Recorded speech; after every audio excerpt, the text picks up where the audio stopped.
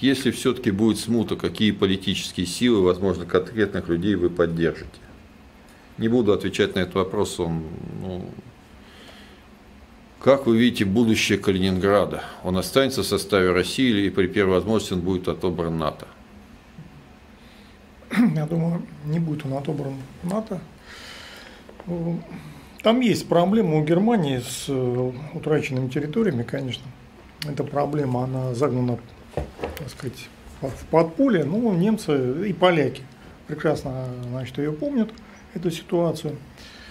А, и гораздо больше э, вопросов вызывает, как вот немцы с поляками разрулят, в конце концов. То есть сохранится ли нынешняя граница, или все-таки немцы что-то смогут вернуть. Калининград нет, потому что за Калининградом стоит, э, ну, все-таки какая-никакая, но держава. Я лично не вижу такого варианта. Ну, по крайней мере, из вероятных, да, тем более в близком каком-то обозримом будущем. Думаю, ничего там не, не, не будут менять, потому что это и в международном плане, а кому охота усиливать Германию? Американцам, что ли? Нет. Англичанам, французам тоже нет. Вряд ли это получится. Так, посмотрим, пройдемся, если вы не возражаете, по вопросам к стриму из моего ТГ-канала. Очень много вопросов. На часть, я надеюсь, уже ответил. Так, ну попробуем. Хм, вот интересный вопрос. Вспоминая ваши дебаты 16, 17, 19 года с Навальным и другими, на сегодняшний день вы можете сказать, что они во многом тоже оказались правы что без союзников нельзя начинать боевые действия, что попытка на, пойти на Киев обернется массовыми жертвами и т.д. Любая война – это массовые жертвы. Любая война – это без союзников, она всегда очень тяжела. Вопрос в том, что на любой войне работают как стратегические факторы, так и оперативные и тактические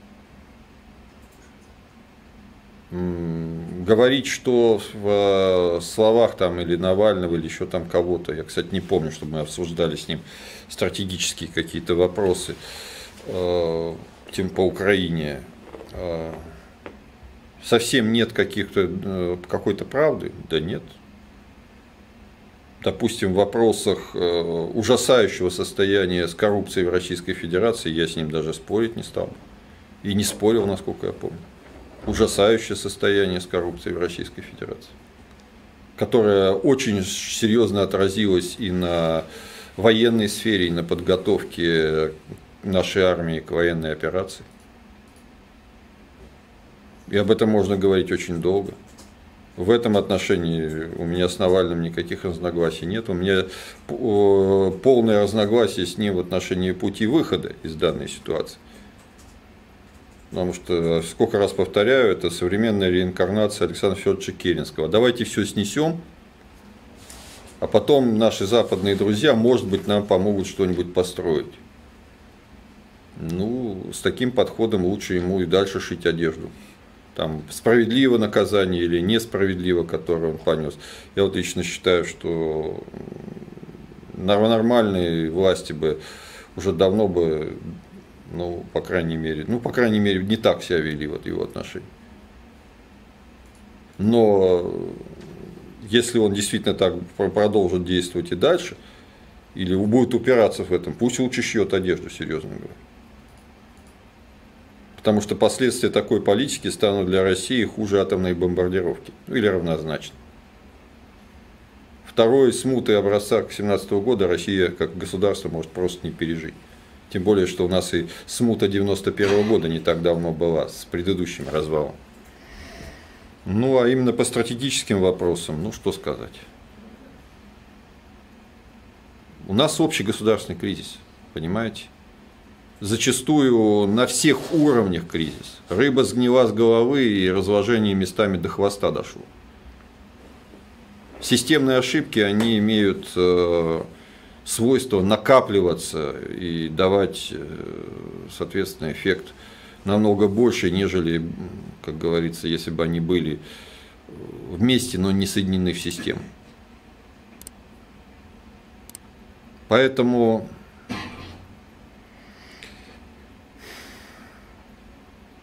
Можно было начинать и без союзников. Можно было начинать и даже закладывая заранее большие потери в операцию. Без, с маленькими потерями, я об этом много раз говорил, она в любом случае не обошлась бы. В 2014 году легко, в 2015 тоже еще легко, в 2016 уже тяжело, а дальше уже все большие потери просто были неизбежны. А начали в 22 когда они стали неизбежны вот просто вот, ну, вот никак. И все равно можно было решить операцию и выиграть войну в течение, даже имеющимися силами, правильно организованными, при правильном э, их употреблении и при правильных общегосударственных мерах, сразу предпринятых, можно было выиграть эту войну в течение уходящего года. И уже сейчас ее заканчивать. Но системные ошибки привели к тому, что э, тяжелейшие ошибки в планировании операций усугубились ошибками на уровне оперативного командования, а те, в свою очередь, усугубились ошибками на тактическом уровне, вызванными всеобщей некомпетентностью, показухой, неумением, отсутствием профессионализма, которые выросли в рамках системы при Сердюкове и Шойгу и расцвели пышным цветами, которые до сих пор не изжиты. Ну, вот все эти, все это, как говорится, нельзя обобщать. Если бы я не считал, что э, Навальный в чем-то не говорит правду, я вообще бы с ним не дискутировал. Просто вообще. Ни с чего бы нужно. Я всегда дискутирую только тогда, когда мне интересно, или я стремлюсь достичь каких-то целей. Вот Соловьевым, мне поверьте, дискутировать было совершенно неинтересно, было бы. Но этим я добивался определенных целей, хотел добиться. Ну, не сложилось и не сложилось, нисколько не расстроит. Или вы думаете, мне с педерастом Красовским хотелось дискутировать очень? Он мне был что, приятен? Нет, я добивался определенных целей, я считаю, что я их добился. Я выполнил свои задачи, а он ушел злющий и расстроенный по-своему с этой передачи, с эфира. Или думаете мне, что Гордон приятен? Да нет. Я выполнял свои задачи, я тоже считаю, что их выполнил.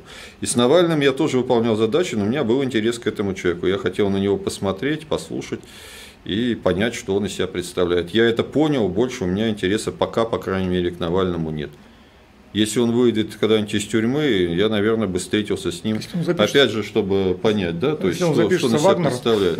Ну, я не говорю, что он обязан записываться в Вагнер, я вообще очень скажем так, много вопросов и к Вагнеру, Нет, и к системе это этого набора. Есть тема, да, есть. Ну, если вы хотите добавить что-то. Не, не, не, Нет, ну просто. Нет, там с Навальным просто добавлю как чисто политический, что ну, он должен сделать выбор, он русский политик или украинский.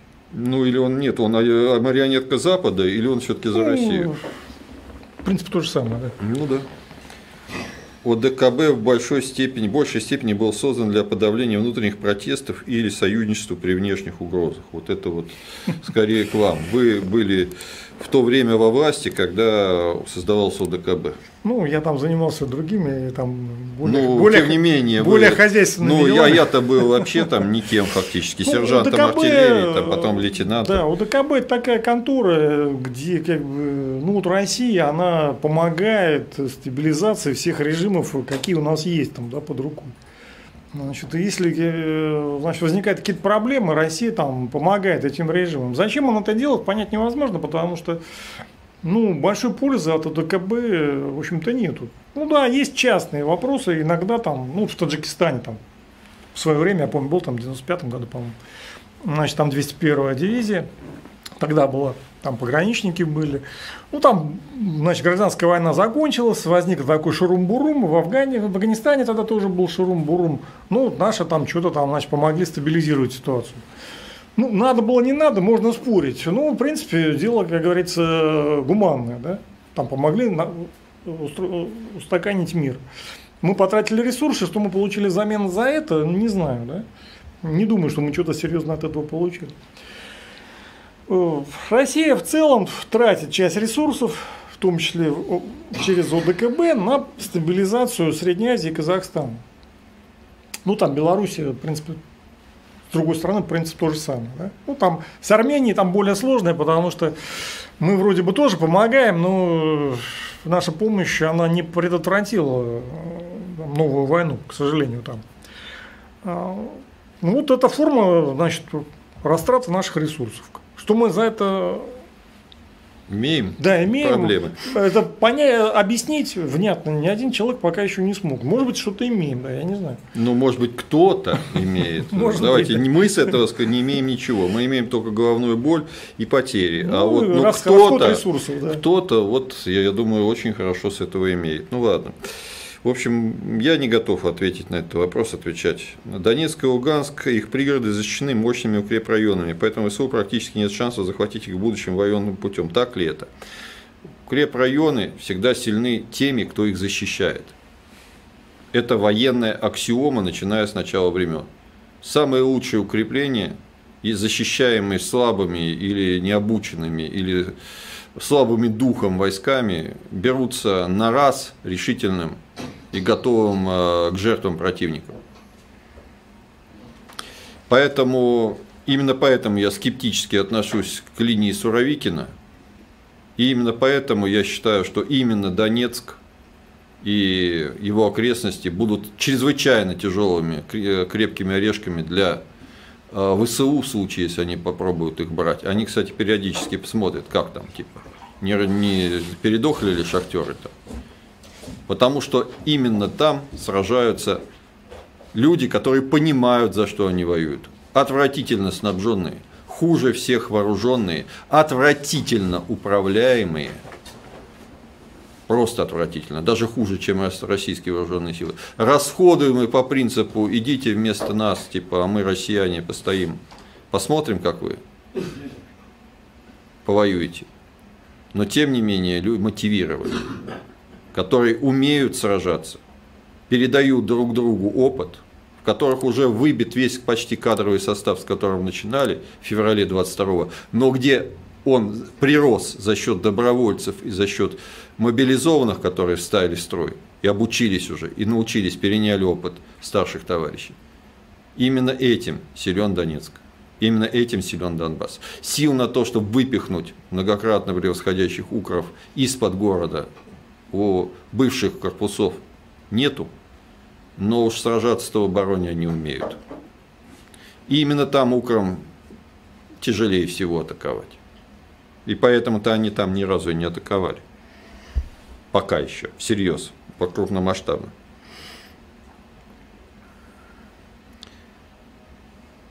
В чем разница русской весны 14 от СВО и русского мира 22 Я не слышал ничего про русский мир 22 Вообще года. ни одного никто нигде ничего не говорил. Владимир Владимирович что сказал про, про русскую весну, он хотя бы говорил. И даже, кстати, в 22-м снова вспомнил. А про русский мир он не говорил вообще, по-моему, ни разу. Вы ни ничего не такого не слышал. слышал. Нет, я же говорю, русские карту не разыгрывают.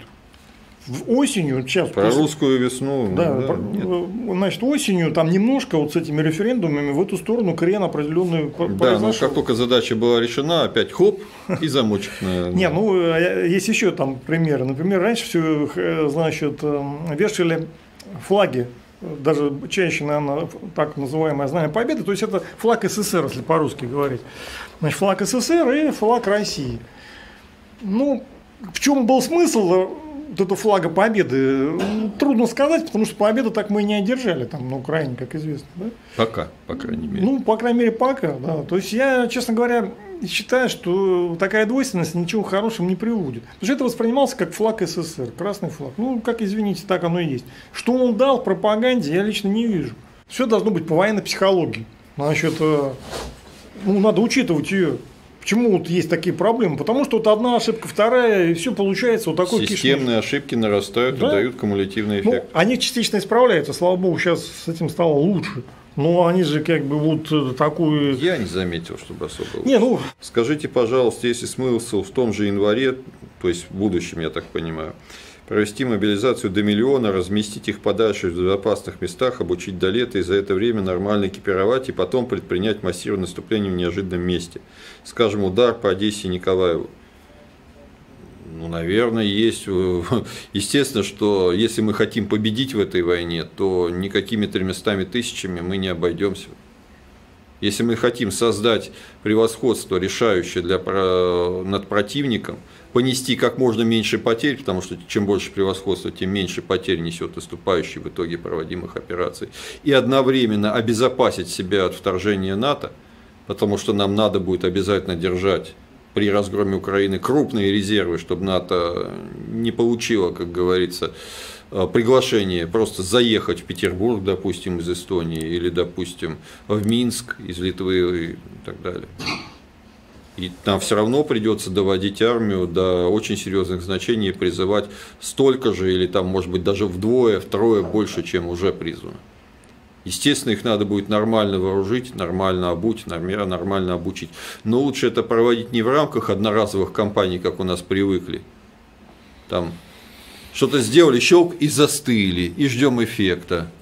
А вось он будет. А это надо проводить в режиме нормальном, в системном режиме, в постоянном. Что, опять же, невозможно без понимания, что мы хотим добиться в ходе этой военной операции. Невозможно.